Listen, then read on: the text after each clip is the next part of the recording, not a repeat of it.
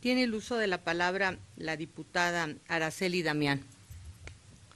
Bueno, yo insisto en la cuestión de que sí somos, eh, tenemos las facultades para llamar a comparecer.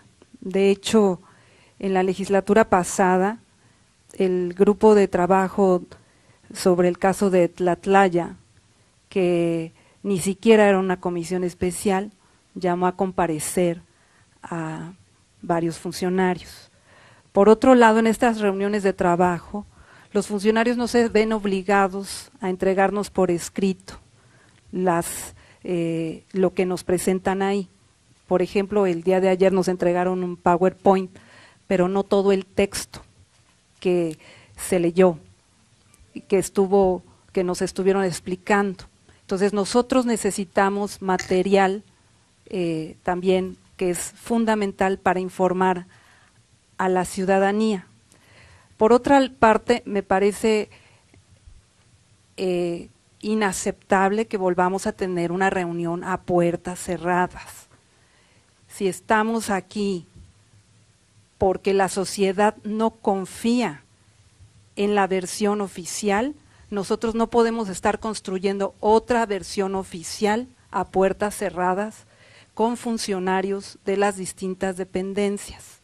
Eso no quiere decir que nosotros no podamos ir o no ir. Ese creo que es, el, el punto más irrelevante.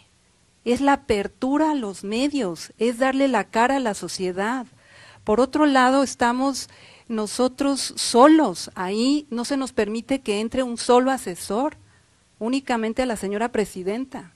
Y en cambio, ellos tienen a todo un equipo dando información, es una condición de desigualdad y nosotros somos quienes los estamos llamando a que nos digan lo que están haciendo. A nosotros nos tienen que dar cuentas como representantes populares de su trabajo.